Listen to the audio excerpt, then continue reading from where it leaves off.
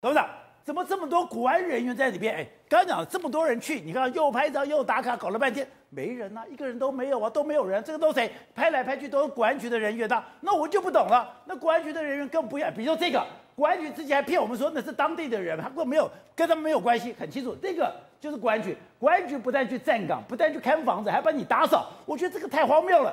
你为什么把国安局的人都不能撤嘞？宝杰，你知道吗？怎样这个不能撤啊！连这个怎么警连可以撤国安都不能撤，当然不能撤啊！这个是龙兴之地啊！什么龙兴之地？开玩笑啊！这个这个，我我跟我要你要你你去了解一下。许先生讲过一句话，你记不记得？什么？大卫不宜自取啊！，对，那是什么取？天天命嘛，这绝对是天命啊！这个九五之尊的位置，百分之一百天命。那天命里面，中国人啊，或是台湾人，我们华人社会里面喜欢算命，对不对？一命二运三风水。当然是我跟你讲，他们这个话其实以现在来看的话，我的经验里面，我已经到了一个年龄了。对颠倒过来看，最重要的是风水。假的，你把花光，我跟你讲，有很多人，我我们一个好朋友的这个叔叔啊，就是地理就地理师的，雷山地理师是替人家全台湾各地看风水。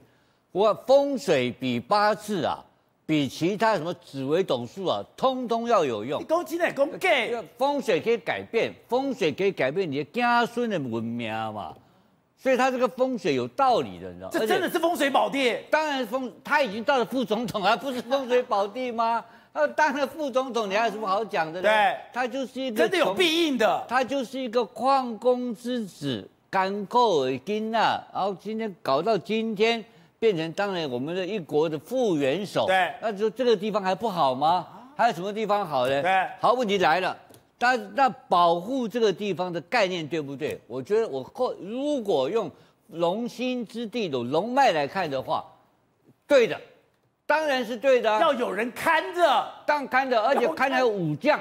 武将。当然你，你你找几个工人看着像话吗？你找几个退伍军人，那个退伍我们家楼那个大楼管理员七对不行早回啊，七早回底下就哦你说找保，安还不行，但保安还要找武将来当。然有要有这个阳刚之气啊，那个地还有个还有你要知道这边有养鱼耶，对，那没人看还得了？鱼死了怎么办鱼死？了谁负责？那就不能鱼跃龙门了。对，那个鲤鱼要有廖龙门，就你弄了一堆死鱼，妈不是那开玩笑，你这个这个万里万里指挥官，我跟你讲，你还升少将，你明天就给我退伍吧，对不对？所以这个是有考究的，哎有道理。所以今天为什么他坚持，坚持就是这个道理。